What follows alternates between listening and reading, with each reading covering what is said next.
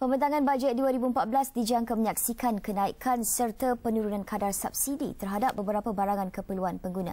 Menteri Perdagangan Dalam Negeri, Koperasi dan Kepenggunaan KPNKK, Datuk Hassan Malik berkata, penyelarasan subsidi perlu dilakukan bagi mengukuhkan ekonomi negara.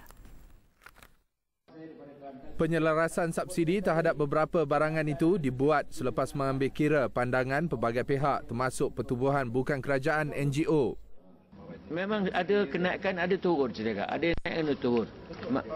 But I don't want to specify sebab I think let the PM uh, announce it dan kita uh, satu mengguna dah apa dah, dah memberi pandangan. Dan satu lagi bajet ni pun sebenarnya bajet rakyat ni ni. Kenapa bajet rakyat?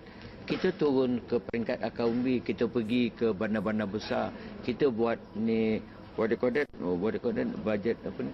Dialog bajet, ya, dialog bajet dengan pengguna, dengan persatuan.